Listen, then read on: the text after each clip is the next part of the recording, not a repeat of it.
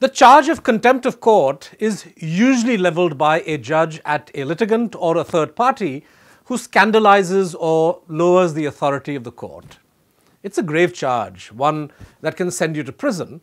But what happens to judges who, by their conduct while in service or retirement, themselves scandalize or lower the court's dignity?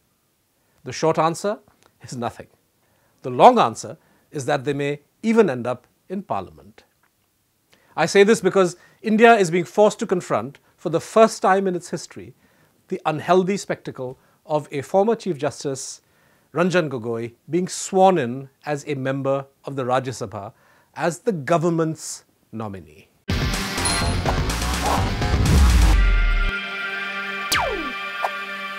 So, why should Gogoi's emergence as a Rajya Sabha MP matter?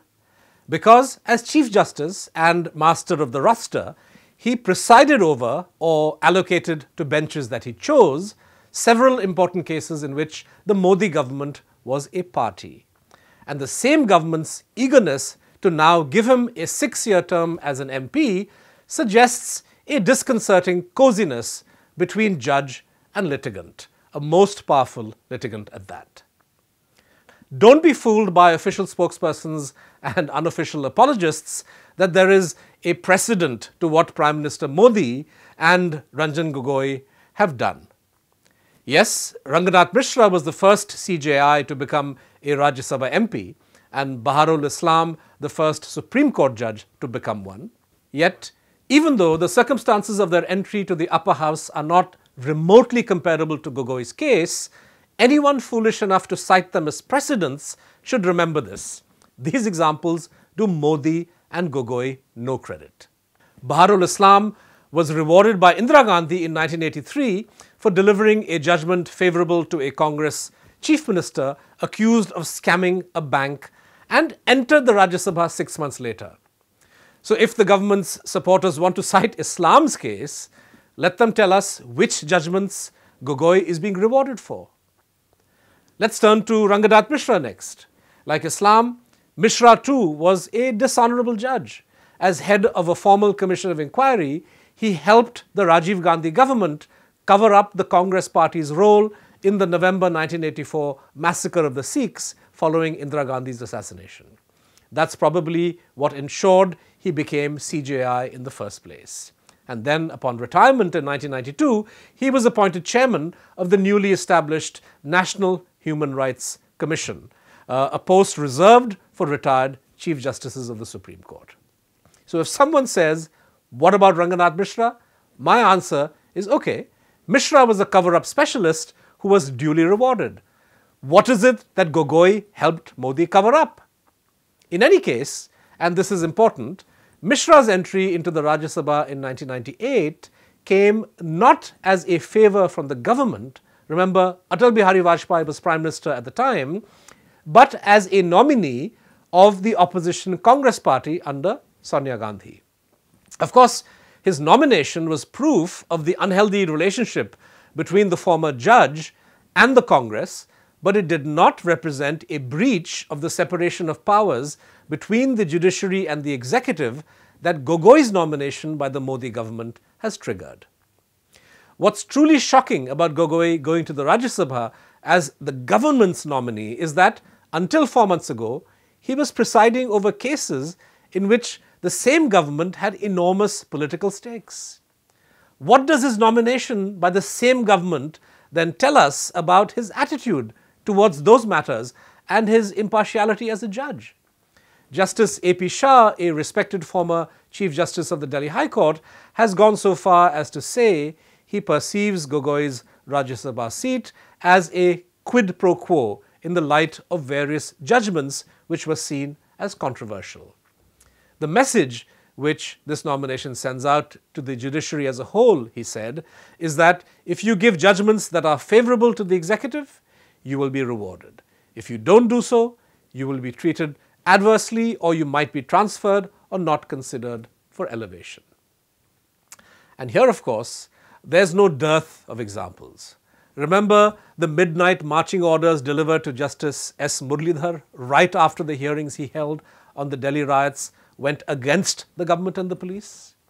Or remember Justice Akil Kureshi, who had jailed Amit Shah in 2012 and who was chosen last year by the Supreme Court Collegium to be Chief Justice of the Madhya Pradesh High Court. After months of delay, the Modi government finally got him reassigned to the smaller court of Tripura. Incidentally, Justice Shah is not the first person to point to this problem. The late BJP leader Arun Jaitley said much the same thing in 2012. And the First Law Commission warned of this danger way back in 1958. But no one bothered to do anything about this problem because it seems to have suited politician and judge alike. Now, if we look at Gogoi's actual record as CJI, there were broadly speaking three kinds of politically sensitive cases that he handled. The first were those he presided over, which went in favor of the Modi government, especially Rafale and Ayodhya, on the basis of what I regard as highly dubious reasoning. Then there were the petitions the government wanted him to sit on and which he obliged them by doing, like the legality of electoral bonds or the constitutionality of scrapping Article 370, the communications blockade, and the mass arrests in Jammu and Kashmir. Petitions were filed, yet the judge, Justice Gogoi, did not accord them priority. Remember, one of these petitions zeroed in on the fact that the bulk of electoral bonds sold anonymously were being funneled into the ruling party. Surely this was an issue that the Supreme Court of India needed to look at urgently, yet Gogoi did not think this was important, and the matter, incidentally, is still pending. Finally, there were those cases which seemingly went against the government, especially the CBI director's matter, when the Supreme Court ordered the reinstatement of Alok Verma and the entry of women worshippers at Sabarimala. But where Gogoi created an opening for the government to eventually have its way. So Alok Verma, as I said, was reinstated as CBI director, but was left powerless till the government was able to legally move its own man in to CBI headquarters. And the Sabarimala verdict was immediately sent for review and then referred to a larger bench just before Gogoi retired, presumably to set the stage for its possible eventual overturning. Even if we give Gogoi the benefit of doubt in all of these cases which I mentioned, perhaps these judgments were really the product of his fine legal mind and not some sordid quid pro quo.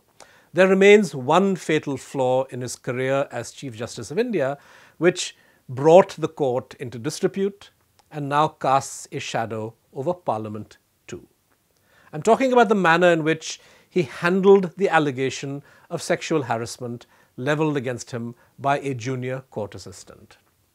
Again, let's for the moment give Gogoi the benefit of doubt on the veracity of the actual harassment charge.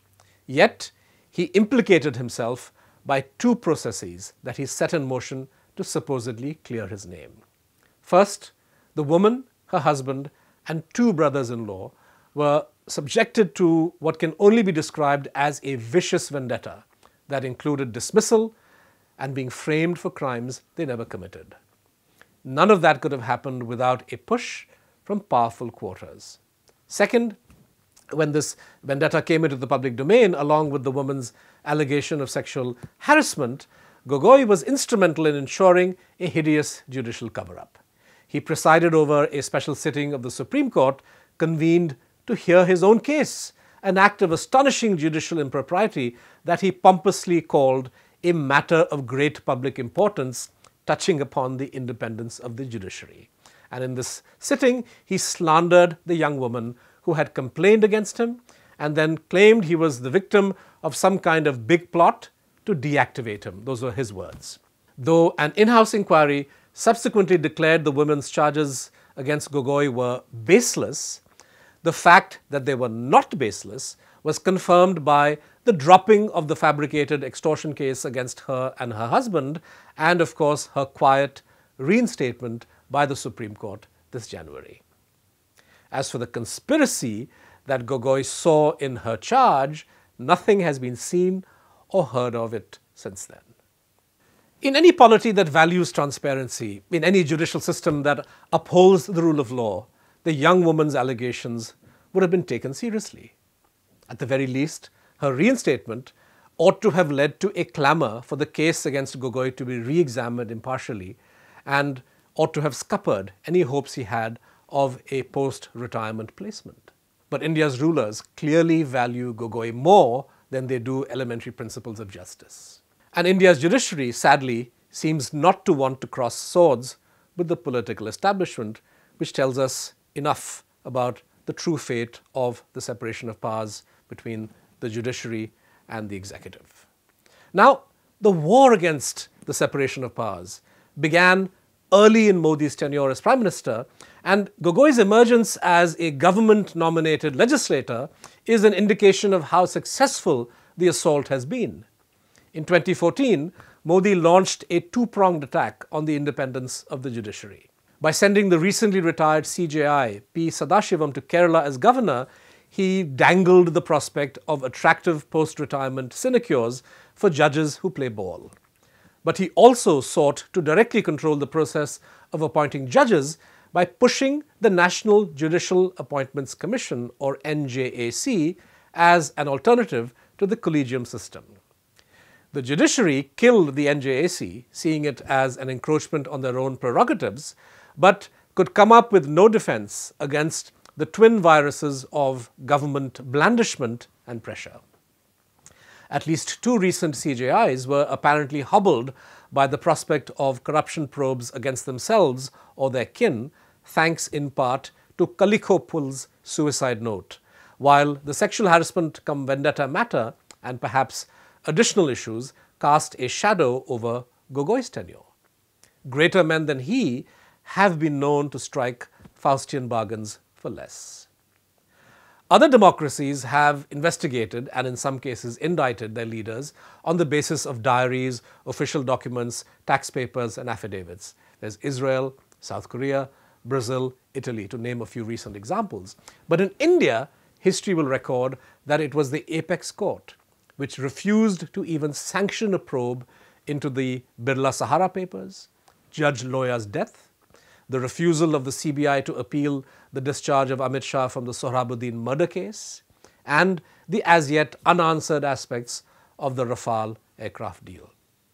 The public at large may have been in the dark about the factors preying on the mind of key judges until The Wire helped break all those stories, but the men in power had all the information they needed to carry the day.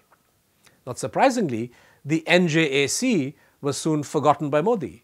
Why bother with a formal commission if the system of judicial appointments was under control and the allocation of sensitive cases was taking place in a manner that was to the government's liking?